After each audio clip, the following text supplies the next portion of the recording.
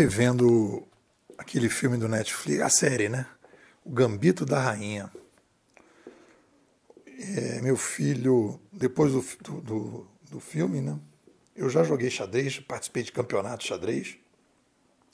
E o meu filho me convidou para jogar com ele, etc. Acabei ficando viciado no aplicativo de xadrez. Jogo todo dia pelo menos umas três, quatro partidas. E, e, o filme é muito interessante. Tem uma hora lá no filme que eles falam da comparação entre a dama e o xadrez. Quem inventou o xadrez é um gênio, né? Uma pessoa diferenciada, porque é um jogo que você, quando você entra no jogo, você está ali o tempo todo trabalhando com matemática, com é, é muito bacana. Então, estou é, lembrando disso porque quando você lê o Pierre Levy, o livro Cybercultura, eu não diria os livros Cybercultura, eu diria assim, quando você lê um conjunto de livros do Pierre Levy, o Pierre Levy ele introduz nas ciências humanas, nas ciências sociais, desculpe, ao vício, nas ciências sociais, ele introduz o jogo de xadrez. Ele fala: oh, vocês estão jogando dama, bacana, mas vamos jogar xadrez? Vamos trabalhar com padrões mais é, próximos dos fatos? E aí ele vai trabalhar e dividir a história humana de uma maneira completamente diferente, e não há como entender o atual cenário sem trabalhar com esses padrões. O que, que o Pierre Levy faz? Ele diz assim: quando a gente tinha oralidade, ele ignora um pouco os gestos, né? ele já parte da oralidade. Ok. Quando a gente tinha oralidade, nós fazíamos uma interação humana um para um. Quando nós fomos para a escrita, nós passamos a fazer uma interação humana, tivemos a possibilidade de agregar uma interação humana um para muitos. A gente não abandonou um para um. Então a gente tinha a um para um, agregou a um para muitos. E depois, com o digital, ele percebe que nós estamos fazendo, temos a possibilidade de agregar o muitos para o muitos para muitos. Então isso é um jogo de xadrez. Ele diz, ó, o jogo é esse aqui. Então beleza.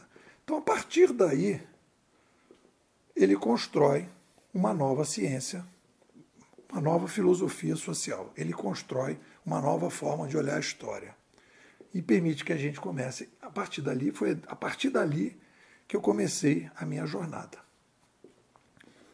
Esse artigo, o que, que eu estou trabalhando? Estou trabalhando para mostrar o seguinte: quando a gente olha para o digital, e a gente teve uma conversa essa semana aqui na escola, e a gente está saindo da pandemia, o que, que a gente olha rápido? O que está já visível, todo mundo, ninguém pode negar? Trabalho à distância. Ah, agora o novo normal é que as pessoas estão trabalhando à distância. Impacta nas viagens, impacta na, é, nos lugares.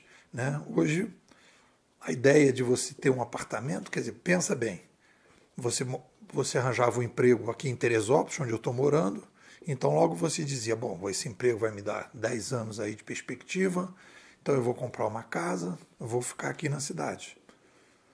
Hoje em dia não é mais assim.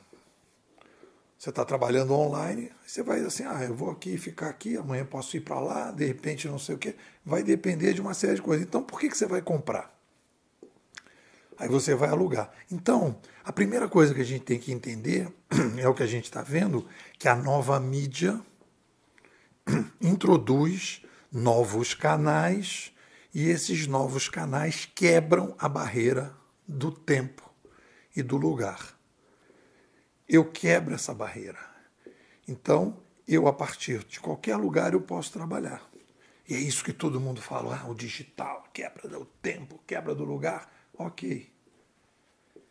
Essa é, se a gente olhar aí o xadrez do Pierre Levy, é uma parte a mídia tem duas perninhas. E todas elas, né? Qual é o, o canal? Vamos pelos canais. Canal gestos, a mão. Oralidade, a boca. Escrita, papel, pedra, é, papiro. E o digital, celular, computador, tudo que você, banco de dados, tudo que você está ali armazenando, que você está usando, é o canal. Então são os canais. Mas o, o canal é uma coisa, é uma perninha. A outra coisa que a gente tem que ver é a linguagem. E aí, nesse artigo, eu estou chamando de macrolinguagem. A, quando a gente entra na linguagem radiofônica, na linguagem televisiva, nós estamos falando de microlinguagens. São estilos. A macrolinguagem é a oralidade. O rádio não inventou a oralidade, ele empacotou a oralidade. O papel impresso, ele não inventou a escrita, ele empacotou a escrita. Mas a linguagem tem uma coisa importantíssima que é a, o empoderamento das pessoas. Você, obviamente, que sem canal não chega, tanto que você tem a escrita durante milênios aí a escrita ficou restrita. Lembra aquele filme O Nome da Rosa, que para você entrar para ler tinha que passar por uma porta?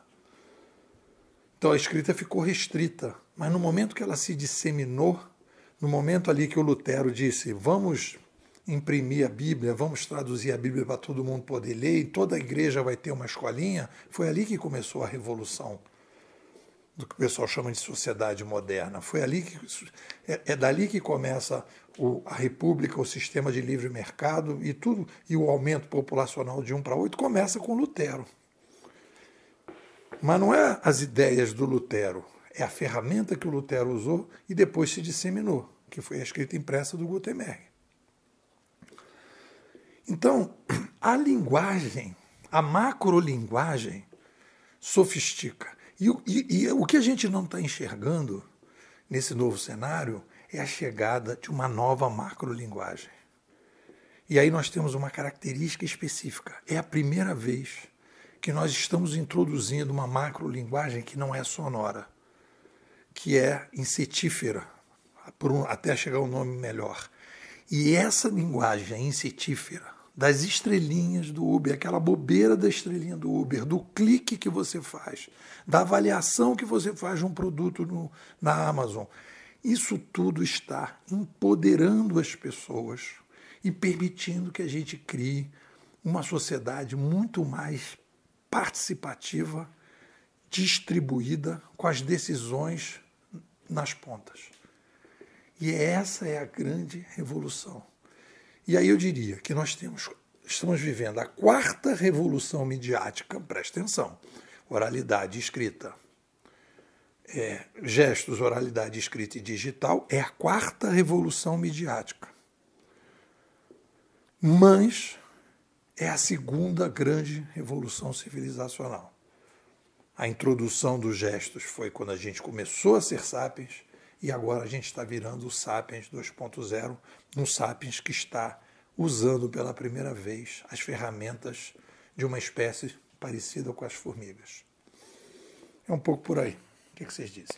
Você é um cara que adora desafio, adora botar ordem no caos, tem uma lógica mais refinada, não está satisfeito aí com esse mimimi que está no mercado e você gostaria de ter uma visão diferente de cenário. Mais que isso, você precisa se entender, saber que você é uma pessoa especial, saber que você é uma pessoa diferenciada e que você precisa estar junto de outros inquietos que nem você. A nossa escola teve, durante os primeiros três anos, um estudo profundo sobre o cenário digital. Nós estamos vivendo uma revolução da sobrevivência, você precisa entender isso. E depois você precisa entender o que é o inquieto inovador, qual é o seu papel nessa revolução e como é que você pode encontrar mais tranquilidade, menos ansiedade, mais felicidade nesse teu jeito meio estabanado, meio preocupado, meio querendo resolver as coisas e você não consegue se encontrar. Vem aqui para a escola que a gente vai te ajudar. 21 99 608 6422. Vou repetir. 21 99 608 6422. Depois eu sou inquieto, quero entender tudo isso, quero entender esse cenário e eu, para isso, quero ser